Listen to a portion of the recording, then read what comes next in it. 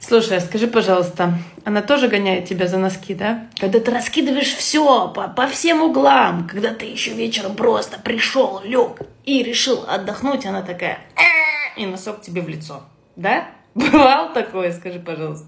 Не, никто не имеет права мне в моем же доме, в моей же семье что-то сказать по поводу носков. Я могу их разбрасывать где захочу, как захочу.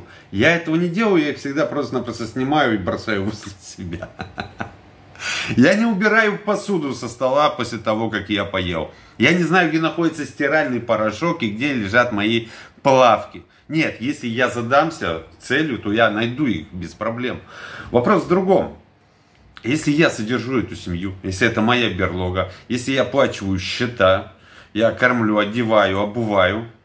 Какого черта я еще должен следить за тем, где лежат мои носки? Почему я должен следить за тем, где находится моя тарелка и вообще заморачиваться, почему посуда помыта или не помыта? Это не мое дело. Абсолютно. Нет, я могу это сделать. Я могу стирать, я могу гладить, я могу зашить, пришить, я могу постирать, я могу приготовить, помыть посуду, протереть пыль, вымыть полы, я могу сделать абсолютно все. Но вместе с этим я могу просто-напросто приводить себе женщину хоть каждый день новую для интимных отношений и дальше жить и наслаждаться своей жизнью. Понимаете, о чем я говорю?